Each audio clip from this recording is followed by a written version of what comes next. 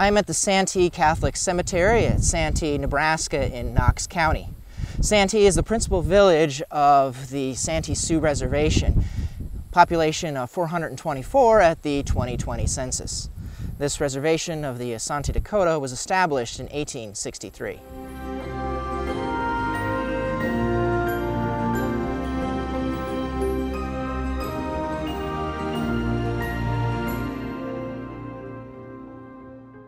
The history of Santee goes back to a series of treaties that the U.S. government made from 1805 to 1858 with the Asante Dakota, who were then living in central and southern Minnesota. The unjust treaties left the Asante people landless and destitute, completely dependent upon the government to survive. Yet the government failed to fulfill all the treaty agreements, and in response, some of the Dakota rebelled. After a six week long Dakota War, the Dakota Warriors surrendered September 26, 1862.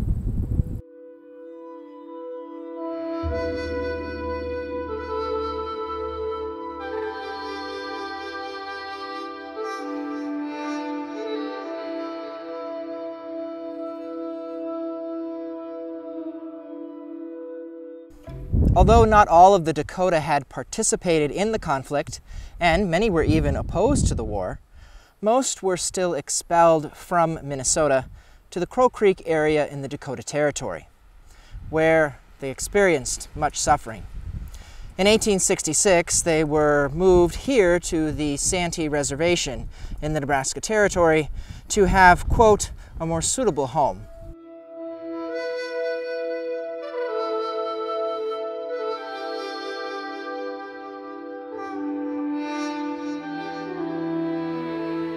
The U.S. government assigned different denominations of missionaries to different reservations with the thought of helping the native people to develop, quote, more civilized customs.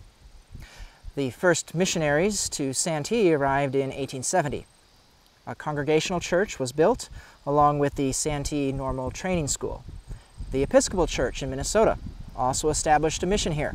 Their first mission, St. John, was swept away by a tornado in 1870.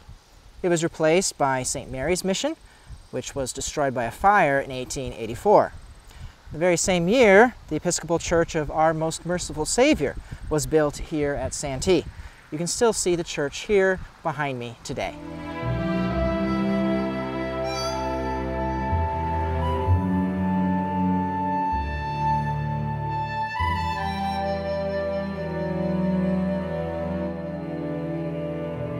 Prior to the time of the reservations, many of the Dakota or Lakota people had previous encounters with Catholic missionaries, in particular Jesuits like Father Peter de Smet and the Benedictine Father Martin Marty.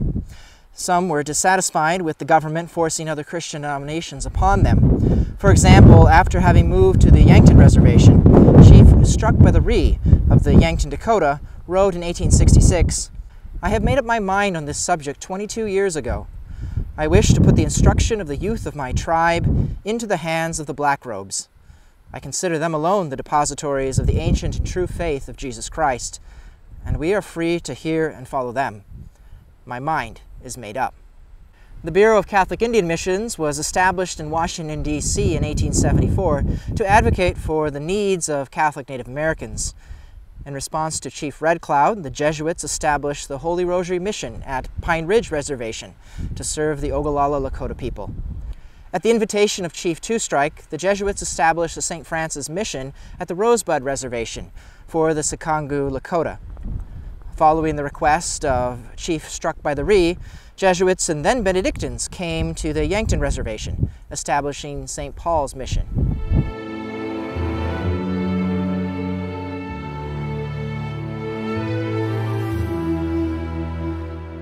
The Catholic way of praying and teaching was extended to the Santee Reservation from the Jesuits at St. Paul's Mission at the Yankton Reservation.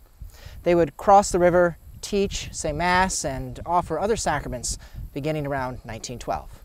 In October of 1912, Father John Palabicki, a young Polish diocesan priest, was given charge of the Santee Mission. He worked zealously during his short time here at Santee. After only 16 months, he received 60 individuals into the Catholic Church. He felt that having a church of their own here would help to foster faith and conversion. So, in February of 1914, he took two months away, preaching at 50 parishes in Chicago in order to collect funds for building a church at Santee.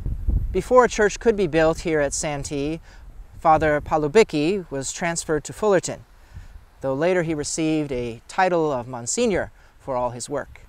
Later, in 1915, Jesuit Father Henry Westropp came from the Yankton Reservation and built the Sacred Heart Chapel in Santee. By 1916, the Santee Reservation was being served by Jesuit priests from Holy Rosary Mission at Pine Ridge.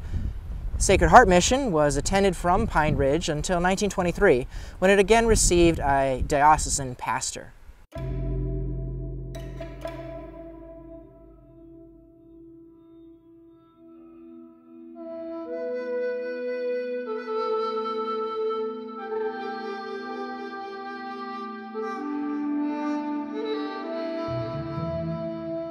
In 1917, a small chapel named St. Anne was built at the Howe Creek district of the reservation between Center, Nebraska and Highway 12. It was destroyed by fire and then rebuilt. A map from 1920 shows a church labeled along the Howe Creek, likely marking the spot of St. Anne's Chapel. This station at Howe Creek is mentioned in the official Catholic directory from 1924 to 1929. As its use declined, sometime between 1929 to 1933, Father McNamara of Bloomfield sold it to the county to be used as a schoolhouse. The statues and pews were placed in the chapel of the old Lynch Hospital. Well, St. Anne's Catholic Chapel is gone from its location. Just down the road where I'm at now is an old Episcopal chapel at the Howe Creek Cemetery.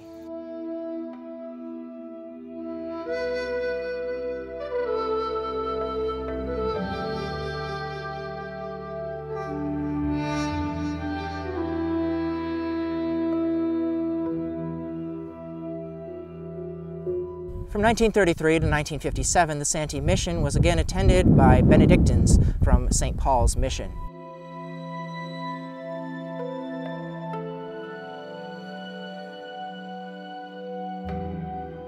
In Niobrara's 150-year history book, it says that in 1941, Benedictine Father Daniel Madlin and his 74-year-old father built a Sacred Heart Chapel near Highway 12, located two and a half miles east of the Santee Spur. It was used until the late 1950s or 1960s when it was sold to an area farmer. I was unable to confirm the existence of this Sacred Heart Chapel with other sources, but it seems to refer to a different church from the Sacred Heart Chapel that was built in Santee in 1915. Perhaps it replaced the old chapel with a new location. A 1960 map shows a district school number 144 at the location that I'm at right now, approximately where the chapel may have been.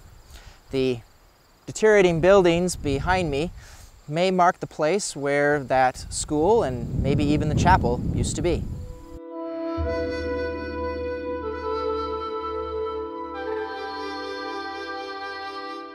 Priests serving Santee also served Catholics here in Niobrara for many years, celebrating Mass at people's homes.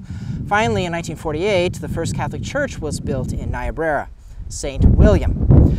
St. William's pastor, Benedictine Father Benno Fellinger, was able to use some of the lumber from the Sacred Heart Chapel at Santee in the construction of the new church.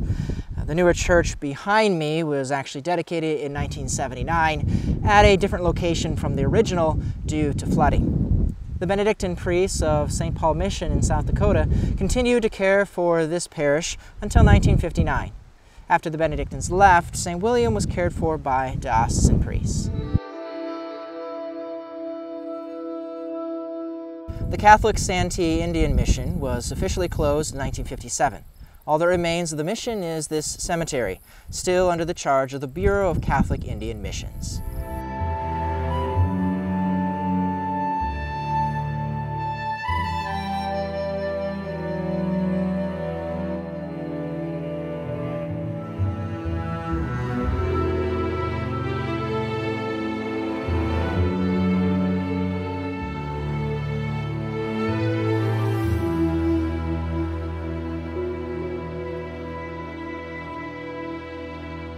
Here at St. William in Niobrara, one can find the bell that was originally purchased for the Santee Church in the 1920s.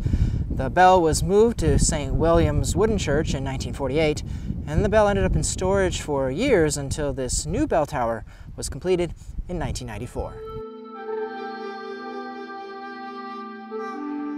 As a result of the recent Journey of Faith pastoral planning, St. William no longer has a weekend Mass, though the church continues to be used. Niobrara is part of a parish family that has 12 church locations served by just two priests.